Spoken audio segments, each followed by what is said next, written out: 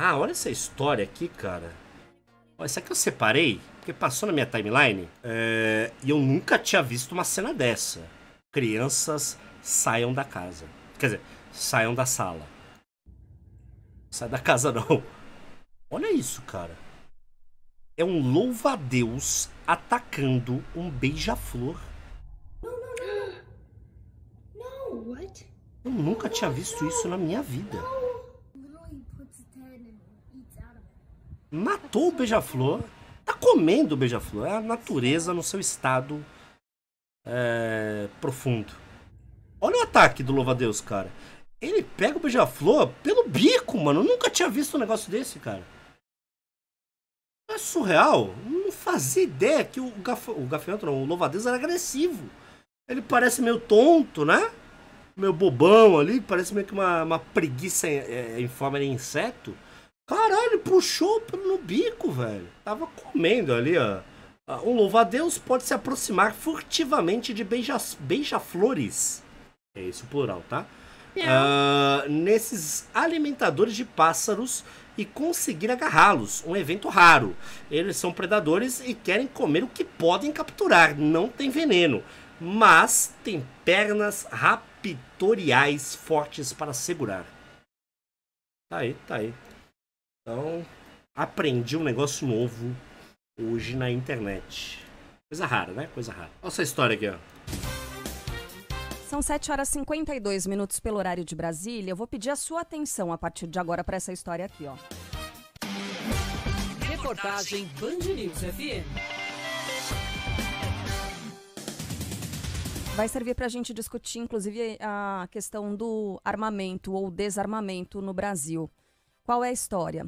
Na segunda-feira, por volta das quatro e meia da tarde, em uma área nobre da cidade de São Paulo, um advogado de 40 anos foi atingido por um disparo acidental que partiu da própria arma dele durante o procedimento, um procedimento, um exame de ressonância magnética. Esse advogado de 40 anos está internado essa em estado gravíssimo em um hospital da Zona Sul de São Paulo. Como é que foi a história? Esse advogado ele acompanhava a mãe dele eh, em um exame de ressonância magnética em um laboratório chamado Cura. É uma rede de laboratórios né, que, que funcionam, pelo menos na capital paulista. Nessa unidade, Jardins, da Avenida Brigadeiro Luiz Antônio, estava a mãe desse advogado de 40 anos passando pelo procedimento e ele estava como acompanhante. A mãe eh, teve um mal-estar durante o procedimento de ressonância magnética. Certo. E aí o advogado percebeu que os médicos foram até lá para prestar atendimento e decidiu entrar no recinto onde a ressonância magnética é feita. Agora, aquele aparelho da ressonância magnética, ele cria um campo magnético muito forte. Tanto Pois que é. quando a gente vai fazer esse tipo de exame, é, eles pedem, né? A orientação é para você tirar brinco, tirar anel, tirar corrente, tirar tudo. O advogado entrou armado nesse recinto. Por que, que ele tava O equipamento armado? da ressonância magnética sugou, o campo magnético sugou É a que arma que estava na cintura, é isso que ele faz, su- sugou a arma que estava na cintura desse advogado e disparou, atingindo o próprio advogado. Caralho. Ele teve ferimentos gravíssimos no estômago, nos rins, do odeno, fígado. Ele foi levado para o Hospital São Luís e continua internado na unidade Itaim Bibi do Hospital São Luís. Esse advogado. é, E aí vem a questão. É um advogado, a gente procura. Olha essa história, cara. O cara entrou na ressonância magnética com uma arma. E é a segunda vez em pouco tempo que a gente vê uma história dessa. Teve uma que o cara tava fazendo a ressonância magnética com uma arma no bolso. E a arma, plum, foi lá pro teto da ressonância. Lembra dessa história aí também? Tá com algum metal aí? Não, não, tô não. Pum, o cara tá com uma pistola no bolso. Pum, e estourou lá a ressonância inteira. E agora, esse caso foi diferente, que ele, ele entrou na sala, né? Ah, e sugou a arma também, disparou sozinho, é óbvio. Ah, que maluquice, cara. Que maluquice. Eu perguntei, por, que- porra, por que, que esse cara tá fazendo armado? O maluco respondeu aqui no chat. Ah, ele estava armado contra o fantasma do comunismo. Miau. Faz sentido. Faz sentido, faz sentido. Faz sentido. Ô, ô pessoal, quando eu falo com vocês tomar cerveja num bar molhado, é isso aqui, tá? Junto com a natureza, tá? Aqui, ó. Nós temos aqui o Romano aqui, ó. Ó. O Aquiles tomando uma Heineken no bar molhado. Bar molhado. Veja vocês que é em área aberta, tá? Aqui, Iria? Iria? Ó. Ó. Tá? Isso que é natureza. Tá? A Topa, harmonia topa. Do homem com a natureza. Olha pra você ver que Isso que é a harmonia do homem com a natureza. Ó, o homem com a- em harmonia com a Heineken e a natureza. bonito, ó. Olha lá, o Aquiles alisando, olha lá. Olha, fazendo carinho, Olha mano. pra você ver. O Romano. Caralho, é um peixe-cachorro, né, velho? Que doideira, mano. Não sei se eu ia gostar, não. Eu tenho medo, às vezes, de peixe querer chupar o meu dedão. Vocês não tem essa, essa pira? Acho legal o peixe e tal, não tenho nada contra, assim, mas eu fico meio com medo de abocanhar o meu dedão e fazer um gloob-gloob no meu dedão. Tá ligado? Morder. Sei lá, eu acho que eu tenho o pé meio fedido, se pá. Aí eu falo, mano, será que embaixo da água o peixe vai sentir, vai morder meu dedão? Eu fico meio com essa pira, não sei, não sei explicar direito. ah, a Louca dos Gatos marcou a gente nessa, nesse negócio aqui, ó. Ó, vocês leram o título? Vocês leram o título? Ou não? O que, que vocês acham que é isso aqui? Olha esse negócio, velho. Olha isso aqui.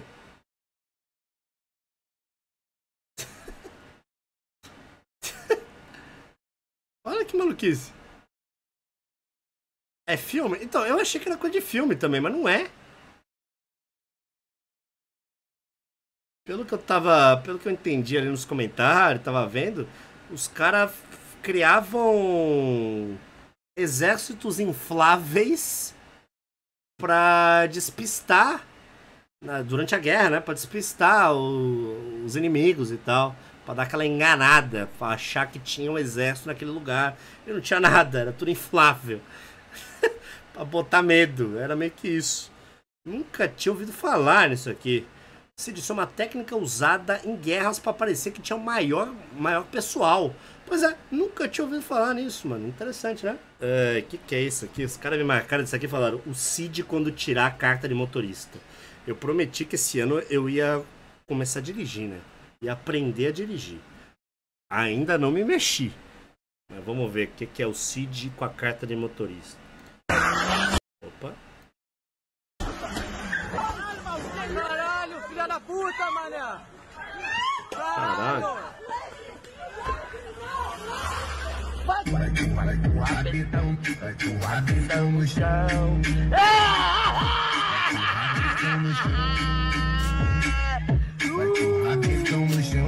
Vai, vai, vai, senta. Senta. É, as ideias, velho. Porra, Os caras tão. Os caras tão malucos. Os caras tão doidos. Olha o queridinho de vocês aí no Big Brother. Ô bebê, você sabia que 70% do seu corpo é água? E eu tô com uma sede. Chama. O menino que pula, que eu quero você nua. Ô bebê, Tomar no você cu, cara. Vá tomar no cu! Vá tomar no cu! Pô, só não fiz uma loucura porque o fio do meu mouse aqui é curto. Eu tinha feito uma loucura aqui. Caralho, mano. Olha as ideias, porra. Os, o que os meninos da turma E110 podem fazer para melhorar o mundo para as mulheres? Olá, vamos ver. Não deixar que ela trabalhe sozinha em casa. Arrumar a casa. Não tratá-la mal. Ajudar a lavar a louça. Quando eu crescer, se eu quiser namorar, uma menina tenho que pedir. Samuel tá, tá esperto, né? Se a garota não aceitar namorar, tenho que respeitar. Olha aí, o Victor também tá ligeiro.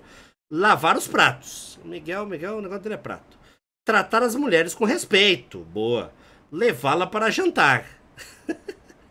Dar carinho. Legal, legal. Cuidar dos filhos. É o, é o mínimo, né? Não bater nem tacar fogo nela. Jeremi- Jeremias. Tá tudo bem na tua casa, Jeremias? Caralho.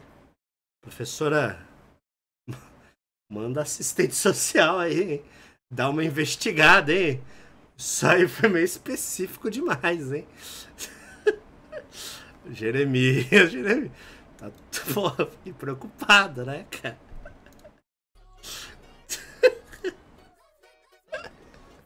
Não bater e nem tacar fogo nela. Caralho, chama aí o conselho do telar. Porra, última, última coisa que eu tenho aqui no Twitter. Última coisa que eu tenho no Twitter. Parece que foi uma mulher aí no programa do Luciano Huck e meteu um speed flow. Speed flow, que é quando a pessoa fala rápido pra caralho, fazendo aquela rima maneira e o cara consegue falar muito rápido porque eu não vou conseguir porque eu não sou des- dessas asneiras e, e, e- e se eu tentar com certeza vou errar porque o meu flow não é muito rápido assim como o meu cara é capaz de eu ser aqueles cara que vai fazer a rima e do, acabo dando o cu né tem isso, né? O cara começa a fazer a rima tão rápido que ele se perde e quando vê ele tá dando cu pro outro participante da batalha de rima. E essa mina veio aqui porque ela entrou no Guinness como a, o flow mais rápido do mundo, mais rápido do que o do Eminem. E aí todo mundo queria ver, né? Porque a maioria da galera não tinha visto. E aí ela meteu essa. Tentar me dizer o que eu posso e não posso ser, mas até com short rap, tanto alto como meu rap, sonhar com você, com o claro do monte, falar como sou Snoop Dogg, minha pode tá dando poste, vai falar minha vida, tentei já, um milhão contra seus apostas, nome de nuca, eu sou do dia, já tô com rap, pro lado do outro, tem que você primeiro se manter em pé, pra você, que meu rap, é que essa visão, seja você quer ser, mas quer revelação, são gente sozinho, tamo nessa mão, boca de um, dois, cinco, não, onde você somos um agonião, arma deu um monte de clique, não queria nada, sendo que tava tantas coisas, um não, e que sou de dia de noite, dia, pra mulher, tá certo e fogão, vamos ficar lá, vamos ficar lá, lado, para você, trazer. Salva de palmas! Tentar me dizer o que eu Que que é isso, cara? O que que. Quantas palavras vocês entenderam? Eu só entendi fogão e quer dizer o que eu quero ser no começo. Mais nada.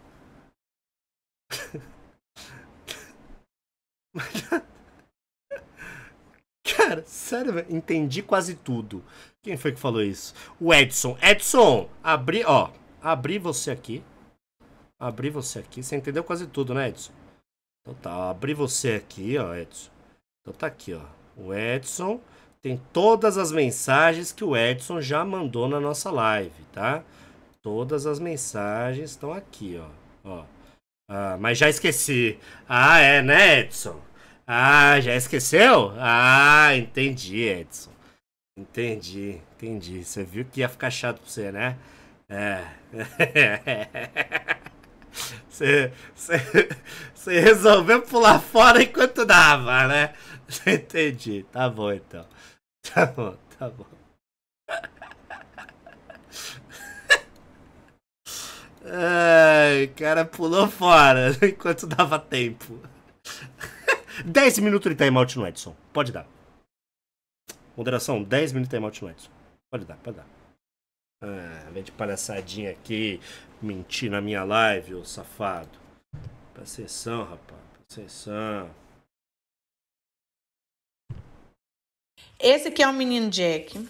Nós recebemos uma carta da creche ah, porque ele tá suspenso. E eu vou ler para vocês porque o Jack tá suspenso da creche. Vamos lá. Para a mamãe do Pet É, Lelê. Olá, mamãe do menino Pet Jack, que tem o apelido de Serelepe. Você tem seu apelido de Serelepe, Serelepe e Motinha. Estou escrevendo este recado para ti. O Jack está suspenso da creche por um dia inteiro. Olha pra você ver, Jack. Eu tô sem trabalhar porque você tá suspenso da creche. Motivo: o Jack hoje não portou-se bem. Ah, Invadiu o refeitório sem permissão e comeu a comida do seu amigo Joaquim, Jack. Você comeu a comida dele? E incentivou a Indiana e o Bento. O Bento não é tão seu amigo, mas entrou na farra com ele. Então peço que fale com ele seriamente para isso não repetir. Um au au para ele e muito obrigada. Tia Helena e o tio Mar Mark, da creche Pula Pula. O que, que você tem a me dizer sobre isso, Jack? Olha, olha pra mãe. Olha aqui pra mãe. Jack. A mãe não quer que você se porta mal na creche, homem. cachorro nem sabe o que tá Agora nós dois vai ficar hoje o dia inteiro aqui, tá bem? Dá cá mais cinco. Dá cá mais cinco. Dá cá mais cinco, dá? Tá nervoso porque você não foi pra creche? Tá olhando agora na janela, pensando que vai pra creche, mas não vai. Não, hoje não vai. Caralho, cara.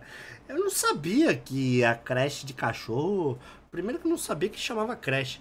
Ah, creche de cachorro eu tava assim, cara. Toma suspensão. Pô, tem prova? Tem que fazer prova a caneta, a lápis. Como é que é, mano? Difícil, né? Passar de ano na creche, velho. Pode nem comer a comida do Joaquim em paz. Tem vestibular agora? Tem boletim? Tem boletim, né?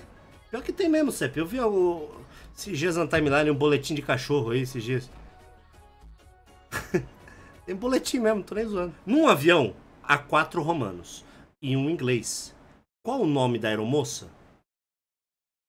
Cara, eu confesso que eu fiquei aqui alguns minutos pensando na resposta. É... E eu cheguei a falar, inclusive, uma grande burrice. Maju, Maju tá aqui? Maju? Ah, então é bom que eu não vou mentir.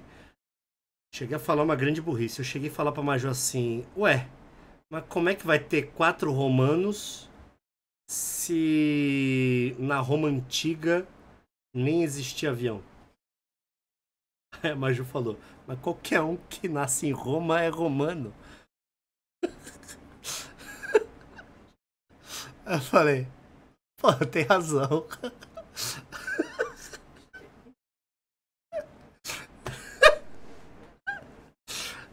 É. É.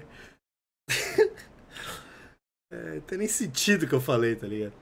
É, e aí depois eu descobri aqui a resposta. Mas o chat todo aparentemente já sabia, né? Eu achei que ia ser uma surpresa, que ia fazer os outros pensar, mas só eu que era o burro que não sabia a resposta. É velha essa?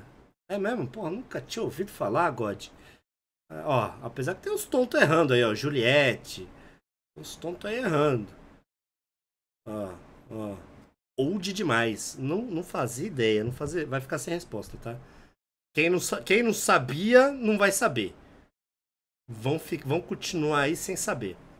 Eu quero fazer um apelo. Por que Ivone? Por que Ivone? Eu sou burro. Por que Ivone? É Ivone porque é IV, que é 4 em número romano, em número romano, e one, que é um em inglês. É por isso. É por isso. Nada a ver. né? Nada a ver, nada a ver. Nada a ver. Nada a ver. Quero fazer um apelo aí. Tem carioca aí no chat hoje? Tem carioca? Sempre tem, né? Carioca igual capim, tem em todo lugar. Sempre tem, olha lá, eu, eu, eu, eu, se tiver da ban, eu, tomara que não. Eu, eu, aí, tem uma carioca aí, uma carioca, presente monstro. Ah, aí. É, eu tô falando isso porque eu gostaria de fazer um pedido. A confusão aí, ó, balão do Botafogo caindo na Praia do Leme, a bagunça, correria, cachorro, criança de colo correndo. Balão vai cair, vai cair, vai cair. Atenção. Eita porra. Ê, fogão. Caralho.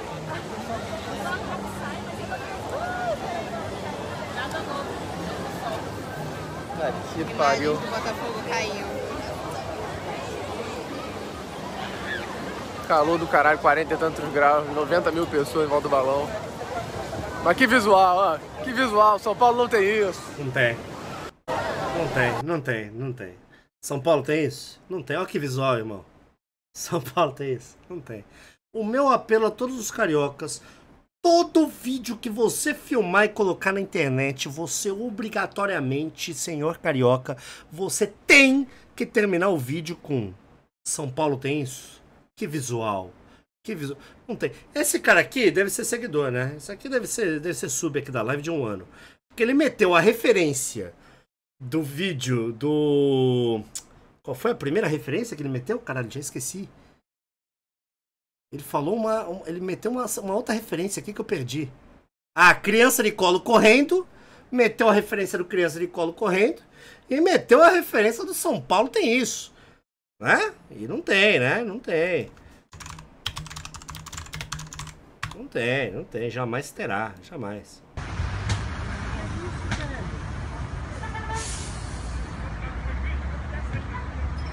Deve ser o Mizzy. Um ônibus bateu no outro ali, ó. Um ônibus bateu no outro. Um ônibus bateu no outro e o cara, o motorista tá tacando pedra no outro ônibus.